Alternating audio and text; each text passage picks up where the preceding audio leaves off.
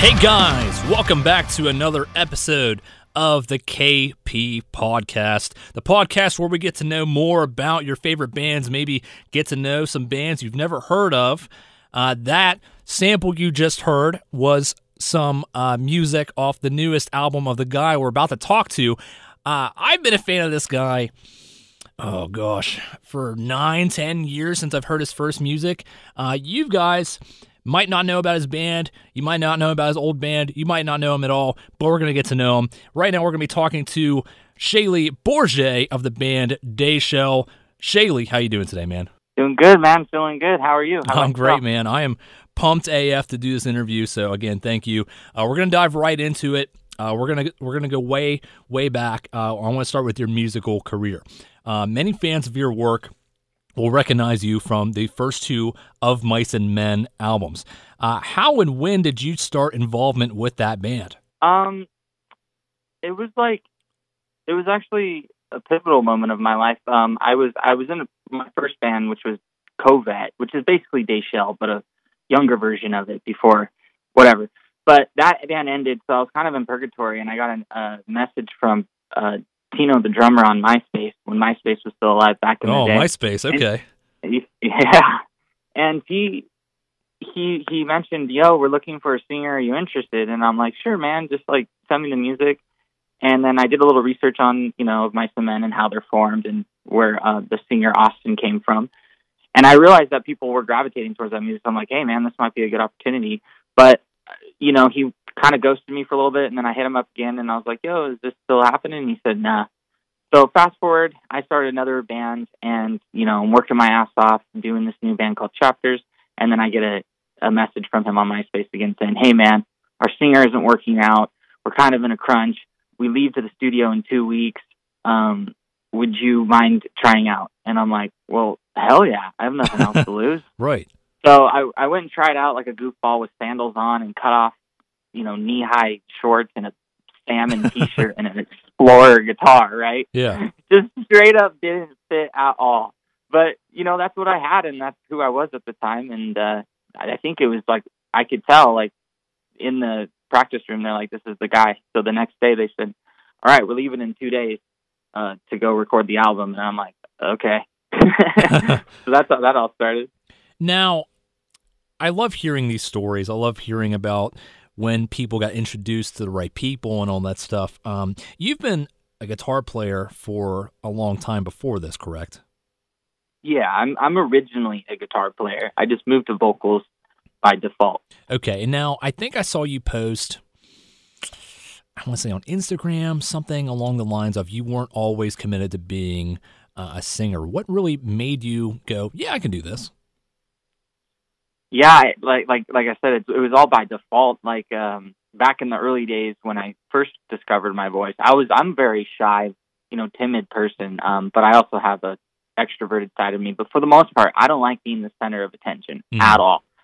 So when we were in our when my first band Covet, we were we had a singer. We recorded. We we finally got this guy that had like this shitty like I don't know eight track recording thing back in like I don't know. This was probably '04 Mm. and um so we recorded a demo and we had this cool singer. Me and him were working on melodies and I was helping him write melodies and just digging in my head and me and him were going to town. So we record the the demo and I do the little backup harmonies. And the next day he calls me and he goes, Yo dude, I hate to break this to you, but I have to quit the band. I, I just don't feel like it's my place and I'm like, What? Man, we just recorded, bro right. you know. So, uh, you know, basically, he said he actually inspired me. He was the one. His name's uh, Josh Caddy. I don't know where he is anymore, but he inspired me because he said, "Dude, I'm gonna be completely honest with you, and I'm not trying to just blow sunshine up your ass or whatever." However, he said it back then. He was just like, "Dude, every time your voice like." You know, your harmonies hit. It's just so much more powerful and and and more is better for this music. And he's like, I really think you should work on singing, man. I think you got what it takes. And I'm like, okay. I told the band what he said, and they're like, you know, like three of the, of the, maybe two of the four other guys were like gung ho, and then the other two, especially the drummer at the time, he was like, no way, dude, no way. He didn't want it. I'm like, all right, dude. Well, it's either I sing and I don't want to. Just mind you, I'm doing this for us. I'm taking one for the team. So right. it's either I sing or we don't have a singer. So he's like, fine. And then, long story short, here I am. Now I asked that Yeah. question because you, uh, not to just be fan fan girling over here, but you are one of my favorite uh, vocalists when it comes to singing. Um, now, when you talk, and when you're talking about, uh, you tried out two weeks before the uh, recording process, and when I say the year, it's going to blow everyone's mind that this album dropped ten years ago, back in 2010. Uh, what was the writing process like, and what was your involvement for this self-titled "Of Mice and Men" album? It was very scattered. I mean, the the the, the, the band was a built band, so nobody really knew nobody for- the most part. Maybe cross paths, maybe acquaintances, but it was all like label built, and they built a super band, and I was the final ingredient. So when I got there, most of the songs were written, but it was a scattered of people. Uh, I don't even know. But the the thing that it lacked was leads. So in the studio, I wrote all my vocal parts, of course. Uh, we we refined some structures with uh, Joey Sturgis, uh, and then obviously I was like, dude, we need to put some freaking leads on here, dude. This is pretty bland if we're just going to be, you know. So I just put as many leads as I could think of over it, and that was basically my involvement. It was still fun, nonetheless. You know, I still got to be creative, so that's that's what matters to me the most in the studio. See, I never would have imagined that. And again, I love hearing these stories because um, I guess fans have this oh, everyone knew each other forever and everyone become friends and they went in and everyone had a big share in the song. And so I like hearing these stories. Um, what was really the biggest reaction out of that first album, if you can remember, recall? the biggest reaction I think was, I mean, for me, um, is when we dropped Second & Sebring. I don't think people like nobody knew who I was at that point. So you know, the reaction of people going like, "Whoa, dude, this is kind of shifting the metalcore scene into a more uh, mature realm, I guess, Yeah. or like, you know, I don't know." And uh, the reaction was cool because that became a fan favorite immediately. And I remember writing that song in my PT Cruiser with this crappy like one mic in a room demo they sent me. Wow. Yeah, that's a lot of people's favorites even today, 10 years later. Um, so that's the first album. Uh, between the first album and the 2011 album, The Flood, uh, there was a slight lineup change, seeing you move from guitar to bass. Uh, what was this change like? Uh, not just to you, for the band, everyone involved. Uh, and was the writing or recording process any different? Was it still scattered? Anything like that? Um, it was it was a shift for me. I mean, the only reason why I moved to bass, just to clarify, wasn't because I lacked in guitar at all, or wasn't because I didn't want to play guitar. What it really, really tro- truly boiled down to, at one point, the guitar player Phil and uh, Austin weren't getting along. So he, Austin was talking to management and me, but I guess they're having their own conversation, and we dropped this guy that was filling in for uh, Austin. He was like a vocalist, and uh, I guess they dropped Phil as well, but I wasn't aware of that. Okay. So I was like, "Whoa, wait, Phil's out of the band?" Like, well, no, I mean, yeah, we've had talks that you know such and such and such, and we don't like this, we don't like that, but we didn't have like a prime discussion. So I was like, you know, he calls me, and I talked it out, and I basically, I took one for him to be a good bro, and I said, dude, you know, as long as you focus on change, you know, at the time, you know, he's grown. I'm sure he's an awesome guy now, but as long as you focus on change, um, you know, I'll move to bass because that might help me focus more on my singing and have give me more freedom. And at the same time, it's another instrument for me to to discover more of and and master in a way. Absolutely. So yeah, I I moved to bass for that reason. But as far as the writing goes, I was huge on the second album because, like I said, the first album I joined pretty late in the game. I mean, a week and a half Yeah, yeah. you know. So till they went to the studio. So this time around, I was able to uh, really, really right. You know, that's why like I think more than half the album are my own originals that uh, you know I wrote, and then Austin wrote his vocals over. Uh, so yeah, it actually was it was a funner album because I was able to really put forth a little bit more um, of my musical uh, taste hmm and ability because you know I'm not necessarily a metalcore kid. I, I I am not at all, but I, I do enjoy it and I love the rhythm and I love the culture. Um, it was just it was just nice to get a little more melodic in my sense in those music or in those songs. You know, Right, and have a lot more of your own not just opinions, but here's here's my riff, here's my idea, here's my lyrical stuff, um, all that stuff compared to the first album. Uh, correct me if I'm wrong. So I'm trying to remember. There was a time between those two albums where Austin was actually out of the band, and then for one of those cover songs from I think Fearless Records, uh, like Pop Goes Punk, uh, the older vocalist from Sky Eats Airplane was the vocalist for a minute. Then yeah, there was I think I remember this YouTube clip, Austin and Alan. I think he he, he Austin found Alan somewhere and started a new band. Then everyone was like, "Well, let's just get Austin back," and then that's when you were on bass, and Alan was now the second guitar player. Am I correct in all this, or am I kind of off? Yeah, I mean, uh, the the vocalist that was filling in that we did make official for a, short period of time, he just wasn't working out. The respect and all this at the time, you know, like I said, people have changed. I'm not trying to talk shit on him now, oh, but right. at the time, it was it was so so disrespectful and hard that I pretty much gave an ultimatum. I said either I sing or we bring Austin back because for one, I didn't really have a problem with Austin at that time because I was the I was the new guy. You know what I mean? Yeah. So I didn't really know what all this was all about, and all I knew is I kind I understood uh, where everybody was coming from, and I had to follow the flow with the band. You know, I had to be a team player. If that was their decision, then I support that, and we move forward. But we, you know, when we grabbed the filling guy, it was it was definitely a wake up call. I think for everyone to be like, he wasn't that bad. You know what I mean? Right. I got you. So, I, so yeah, that's how that went down. Okay, so I just wanted to get that clarified because that's been stuck in my mind for I want to say a few years now. Uh, I'm going to find that YouTube clip and have to remind myself again. Uh, of Mice and Men were and still to this day are no strangers to touring. Uh, what were some of your favorite experiences touring with the band? I think Australia we had a really that was one of my favorite times because for one I like I, I mean Australia is just a very loving place. It's not like America. People care, they respect you and they're just all for the most part they're happy and they take care of themselves, you know? Unlike America where you just everybody hates each other and eats fucking McDonald's every day. Absolutely. So like, I loved it there plus we were playing gigantic shows. I mean like for me back in those times it's kind of a blur just because we were always kind of like just partying around and just being dumb but but still like I, the way that i felt on that tour was probably the best because it was just i don't know just to check on my bucket list right and i have a story at the very end of this interview um, about meeting you meeting austin and seeing you guys live at Warped Tour rip Warped Tour um, in a, a few brief words, what was it like playing these massive shows in front of so many people, singing the words that you wrote back at you?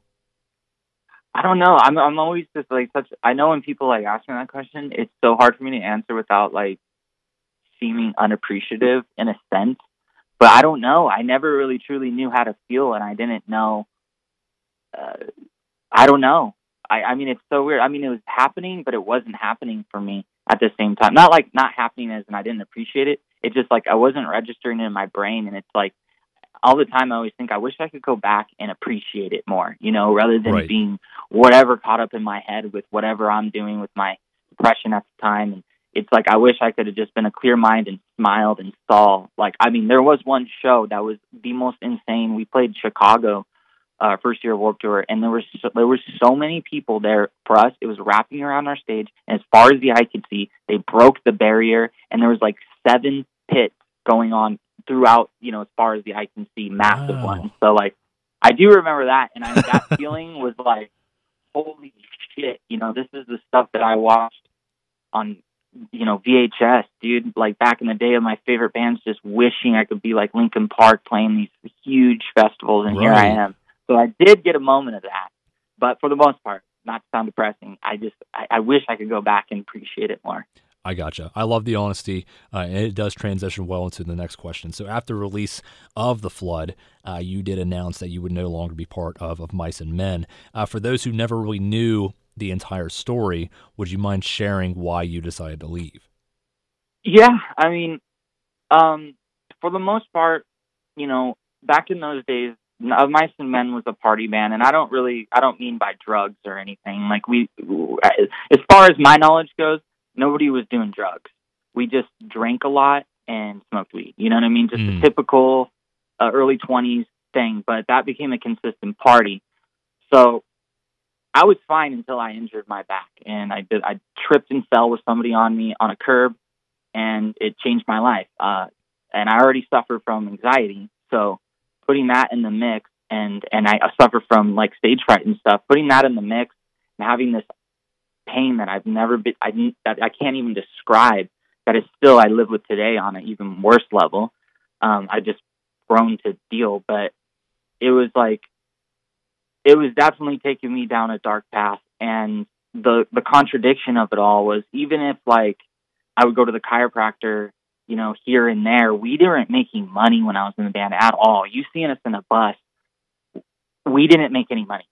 We had a bus, congratulations, and we had our stuff paid for, but I go home with maybe two hundred dollars from a tour. Really? You know, and just I'm not even joking. It wasn't until the tail end of me being in that band where we started to make a little more than two hundred dollars, I believe. We haven't even cycled our royalties yet. You know, we there was a lot. You know, so uh, that too, I wasn't able to focus on my health, and I was touring all the time, dude. And it was just a party all the time. So when I was trying to, you know, heal my mind and my body and not do this, there was a party going on till three in the morning with random people in and out, slamming doors, throwing up.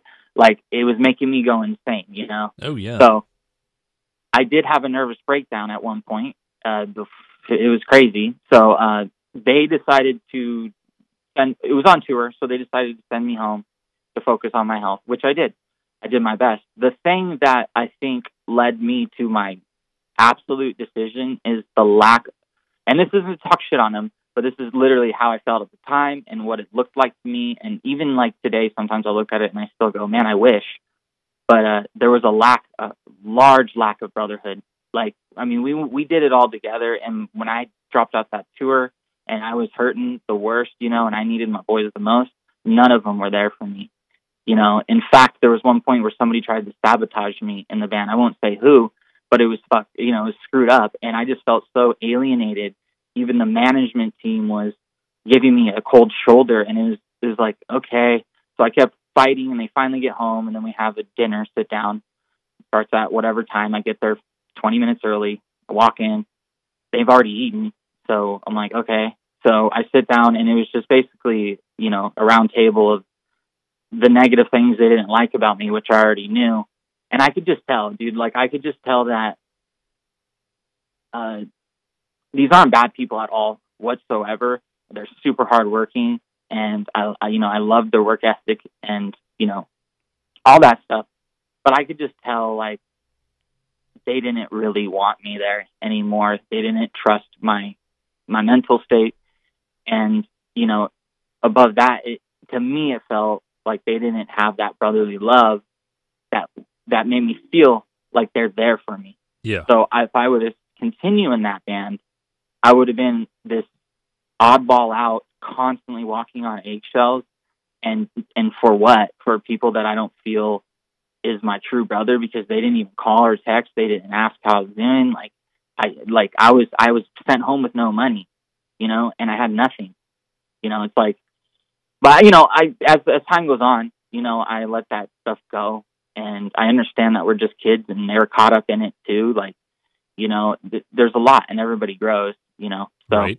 nonetheless, I mean, the silver lining in it all, if it, if you want to call it that, is I did eventually get a grip on my health because I took a seat back and I wasn't in a crazy touring situation that had, was so much demanding, so much anxiety. So I finally got a, a grip on that, and you know, for the the best part of that is I was able to continue to do music and have an audience that I built with of Mice and Men, and you know, explore me, me as an artist. You know, like truly, like with all the knowledge that I've built and the, the, the influence from being in the metalcore scene and develop what I am now. So I don't think I'd be writing this great of music if I wasn't in this position. And that's not to say my music's phenomenal or anything, but you know what I mean. Like Right. I would be, I would be because metalcore only goes so far. You know, in my opinion. Yeah, you're 100 percent right. Uh, now, as a big fan of your of you and of the, both bands, I, I didn't know all this stuff, uh, so I thank you for opening up and clarifying uh, that for not just me but anyone that might not know. Um, now we're gonna move on to uh, some of the newer stuff. I mean, you didn't stay away from music too long, and you released your very own music under the name Dayshell in 2013. Uh, can you walk us through what it was like writing, recording, and ultimately releasing this album, or the first album, and what the reception was? Well, when I left with my Men, um, I was already in talks with one of my old buddies at the time that was in my very first band. So basically, what I did is I rebuilt my first band, brought the, the same members back. Um, the transition was tough because even though even at the time I probably made it look like I was doing better, but I was honestly still continuing to decline. So the writing process of that was a little slow, to say the least.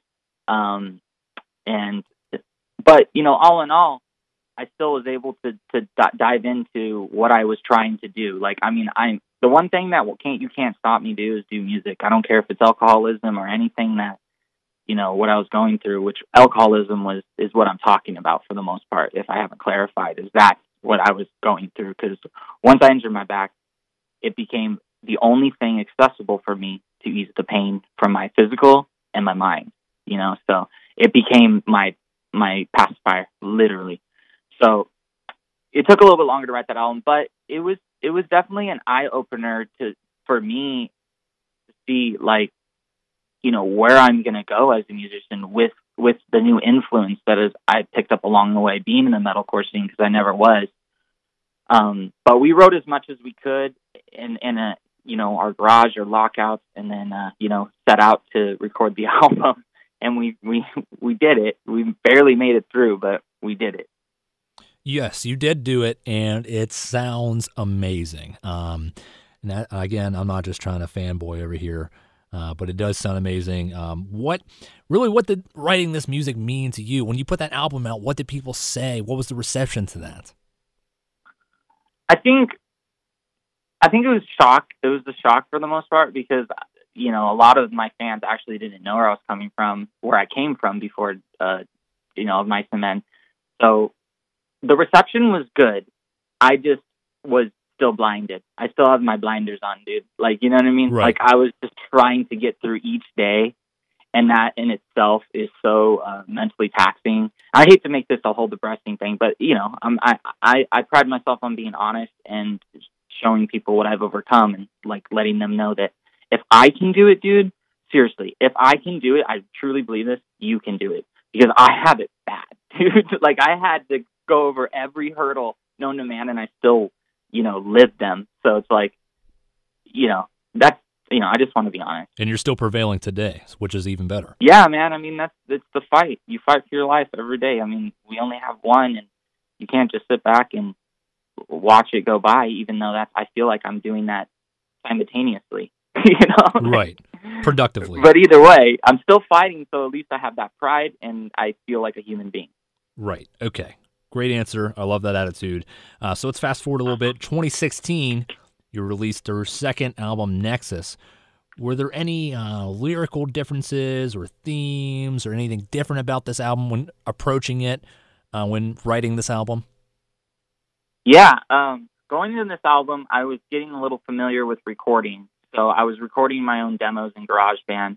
So I was able to have that ability to, to write on tour and just get my ideas across, however shitty they sound sounded. Um, but what what the, the the point of going on that one was like, dude, I want to get a little more of that djent flair into the music, but not in a djenty, you know, esque way. I want to just bring it in it like subtly and kind of have it there, you know. Okay. And I also wanted to make the album a more linear album, meaning it's more of a focus, not as sporadic, you know, acoustic song in the middle of the album, blah blah blah shit, you know. Um, so we did that, and uh, we also wanted to focus on a little more on a raw tone. And lyrically, I was very angry at that time, very very angry. Um, so I really re- and I and and and I had this like I don't care anymore because I'm. It's not how I feel anymore, but at the time I was just like, you know, if everybody worships this, oh Lord, oh Savior, what the fuck is happening to this world? And why am I getting punished? And why can't I find an escape? So I started to get a little, uh, atheist or if you must or whatever. Right. But you know, I respect religion. In all, all, in all honesty, I just you know that was my album to, to pretty much tell the world that I just don't believe, and this is why, and this is the only way that I know how to explain myself, and the safest way because everything's a metaphor. You know, I could play somebody that's one thousand percent Christian and put on um, uh, "Spit in Your Face," and they wouldn't know nothing. They Exactly. think it's a cool song, exactly. and I'm literally talking about spitting in the face of your guy. You know. right. Um, so now, last year, 2019, uh, that's your latest release titled Mr. Pain. Why this title? Uh, can you explain the crowdfunding behind it? Uh, and can you explain the writing and recording process and the reception Yeah, of the album? I did this. Okay, so after Nexus and after touring and doing all of that, uh, it got to another halt where you know, once again, not making money. Once again, you know, like I mean, it, we I never made a dime until Day. I never made a dime in Dayshell until just a few months ago. Put it that way.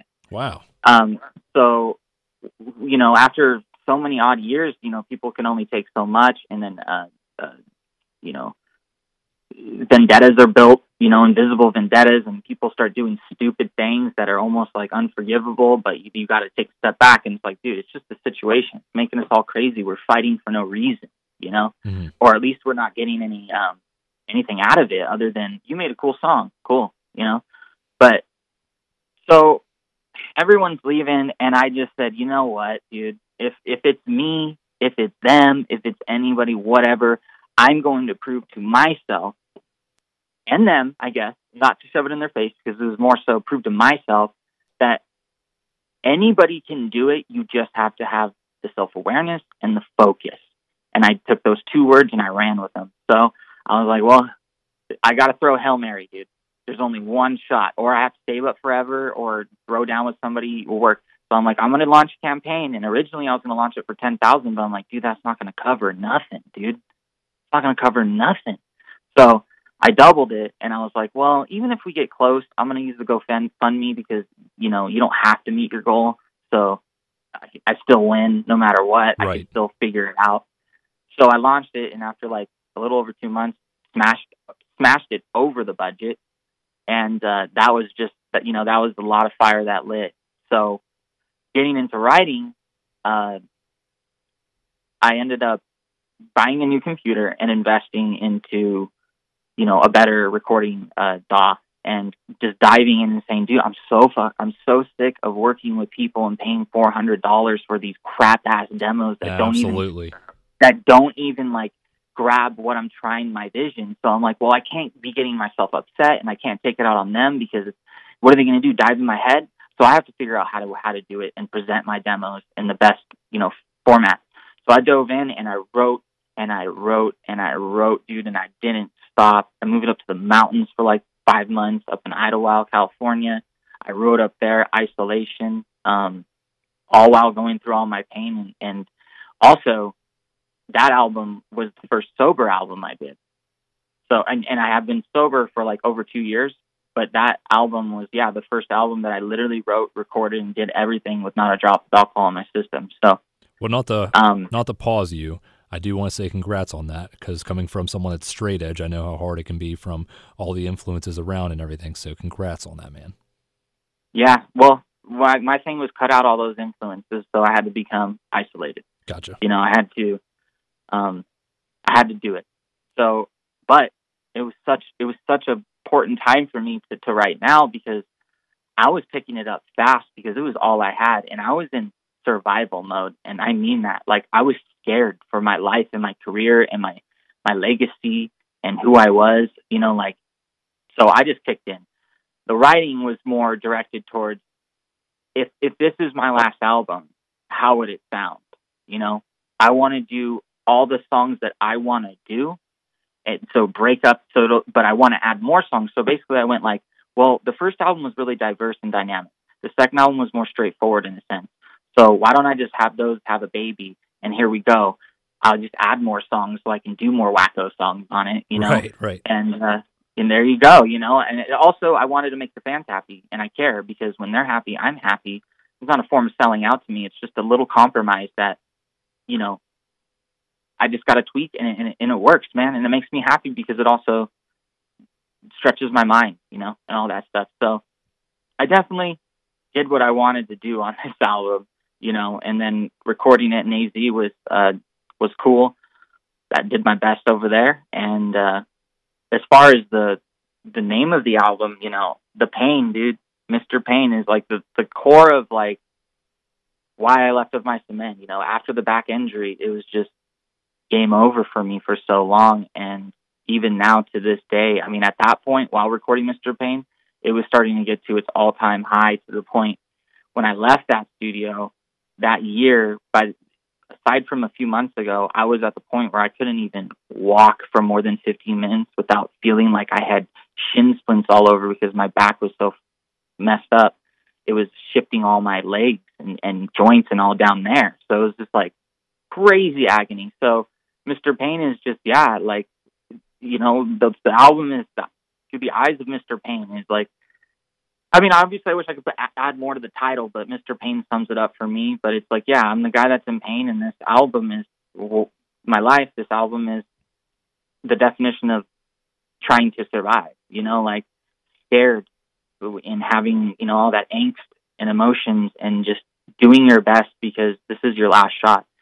And as far as the response has gone, it has been the best I've ever seen in Dayshell, and I think and that's solely because you know I think the fans feel very uh, connected to it and a part of it. You know, they built the album. I that didn't. does make I was sense. Just got, yeah. I was just selling the shit. You know what I mean? So I couldn't have done it without them, and they feel like a really, really sense of connection. And I think this album in general has built a core fan, fan base even stronger than it ever was because you know I got down on a personal level with everybody. There's no more ego. There's no more nothing, dude. Like this is me all by myself I'm gonna do it all by myself. Do you guys believe in me? Yes, we're doing it. You know. That's awesome. And uh, the response is awesome. I couldn't I couldn't ask for anything more. You know, I'm just so thankful and grateful for for all of all of that. And and, and here I am um, now getting the proper back treatment. Now feeling 50% better, and it looks like I'm only going upwards. I'm not sure sure how far I'm going to get with my health, but to alleviate the pain in any way is like all I can ask at this point, and I'm getting that. So more albums in the future, baby. Hell yeah, man. I mean, I'm glad to hear because I was wondering about this back injury. I was like, man, he's still probably going through shit. But I'm glad to hear it's getting at least better now, and it can only hopefully get better from here. Um, you you still have been playing shows under Dayshell. Uh, how does it feel performing these Dayshell songs live? Uh, I haven't toured in like since last year. I think it was like mid last year or late last year. Mm. I'm not entirely sure. Um, it's cool. Like, uh, you know, I have to hire on musicians, but I do have some cool people that I love. That if I go out again, I'm definitely taking because they're just so such hard hard workers. They respect me. They respect my no alcohol rule, and they just kill it. And it's good. You know, it feels good. It's just uh, I feel like I never get to tour consistently enough to get the, to you know, to break in the shoes. You know what I mean? Makes sense. I got you. So, so I'm always just like, right when the tour ends, I'm finally getting to my prime and ready to tour. Right. You know? so that's the only drag. But nonetheless, you know, it feels great. And, you know, even my last tour, I looked at it and I told everybody, I was like, this may be my last tour ever.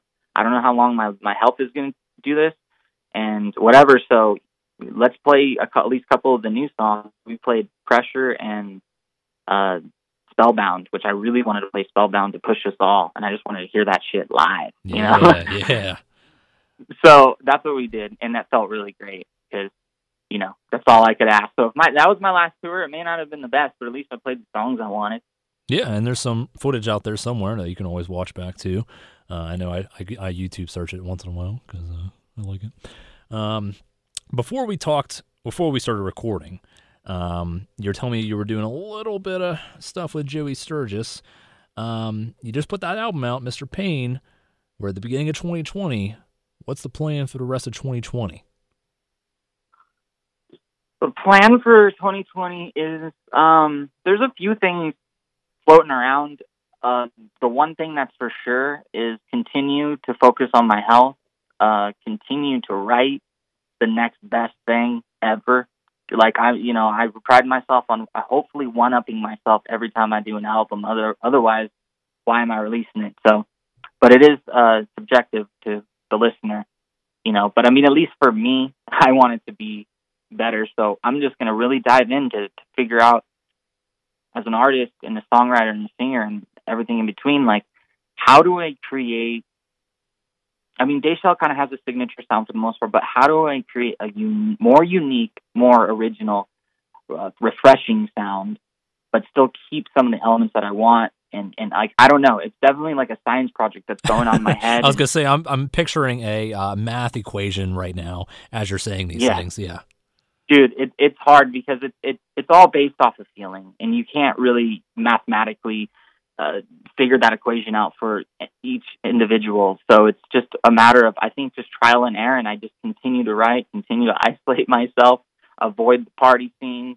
and uh, write. You know, like I, I don't know. I'm definitely excited to see what I'm going to come up with. I have a lot of material still. And I'm still writing. It's just like there's a few that every like it seems like every four songs I write, it's one that I think could possibly be a magical one for the album. And that's not to say the other three suck. It's just they're more so they're more so just another Dayshell song that's good rather than holy crap, you know. And I'm Right. looking for the holy crap. That's what I want. I want an album of holy crap. Yeah, I got you. yeah, that's my next album name. Holy crap. There we go. there we go. Now we know. Um, any final words to fans? Anyone that's stuck throughout the years with you? Anyone that's just now discovering you? Anything at all? Yeah, man. Um, if they do come across me at a show or online, just remember I'm a human and I deal with shit. And sometimes I have a bitch face on my face, but it's nothing personal. It's just I got a lot of going on in my mind, you know. No, but for real, like I just want to put the message out. If anybody like has any sort of passion, dude, and you're you're putting it off because of whatever stupid reason, because if you really think about it dive in your head. You make up all these excuses and you try to justify them and you lie to yourself and the people around you and people pat you on the back too and agree with you. But dude, if you want something, you literally just go for it. You dive in 1010% and there's no excuse. You wake up each day, you you do it. The only reason why I'm here talking to you on the phone is because I do it. You know what I mean? I and I go through hell and back each day to get to the end. And waking up, I'm like, here we go again here we go again. Right. But you know what? The payoff is for me, in a sense, I may not be living for myself, but I live for my fans because I want to be a good role model. Like I want to, if they if they look up to me, I want I don't want to show them that the weakness can consume me or the darkness, however you want to look at it. So, not to get too off in a spiel, but you know, go for it, dude. Don't give up. That's an awesome ending of words. Uh, Shayley, thank you so much for uh, letting me interview you here today. Yeah, man. Thank you. Thanks for having me. No problem. I'm going to be talking to you here in a second off air. That's Shayley from the band Dayshell. Now, I'm going to leave you guys with a quick story about meeting Shayley and Austin from Mice and Men way back in the day at Warped Tour. So it was whenever uh, you would have backstage passes that you could buy, and I had one of those, and uh, it was probably like 25 minutes before they played, and uh, me and my buddy were talking to this dude uh, that was just backstage because my friend had a Tool shirt on, and this dude was like, "Yo, Tool, sweet," and we were like, "Yeah, they are," and we were talking about Tool. And we were looking at this dude, and he was like, "Man, I have no idea who this guy is. He's a really cool dude." And I looked down at his name tag. It's Shayley from Of Mice and Men, who had his hair cut, who I could not recognize because I did not recognize him without his hair. And I was like, "Oh my god, I am so embarrassed." I was just talking to this dude, and I didn't even realize. Part two. So then, um, Austin comes out of somewhere and everyone's like floating over to him. All I wanted to do was just shake his hand, take a picture with him. That's all I wanted to do. And uh, I, I waited for everyone in line, and then uh, I got to up to him and I was like, "Hey, man, I just wanted to get my just want to introduce myself." He's like, "Hey, dude, uh, I'm sorry, I have to run. We have to get ready for the show like right this second. My manager's waving at me, but uh, stick around here afterwards, and I will come find you." And I was like, "Yeah, okay, cool." I didn't think he was going to do that. So we watched from the side stage and they played a good set. And at the very last song, security rushed everyone from the side stage off of the stage to the back. So when the song ended, they could easily get off and the next band could load on. So I'm standing there like an idiot, not sure what to do. Austin said, Wait here. Should I wait here? He doesn't know who I am. So I start walking away, and then all of a sudden, I get this big, hot, sweaty remind, reminder. It's Warped Tour, so it's like 100,000 degrees outside. Arm around my shoulder. And I was like, who the hell is this guy? So I turn and it is Austin Carlisle from Of Mice and Men. He's like, dude, I was looking over for you. And I was like, no freaking way. And if you're watching this on YouTube, uh, I'll put the picture up that I got with him. Uh, it's really it's really cute and it's really funny. But that's my funny story from Of Mice and Men and Shayley from Warped Tour way back in the day. Uh, thank you guys for watching and listening this episode of the KP podcast. Again, big shout out to Shayley from Dayshell for being on this. I was so stoked to do this, and I am still stoked to put this out. So uh, thank you guys for listening, and as always, we will see you guys next time.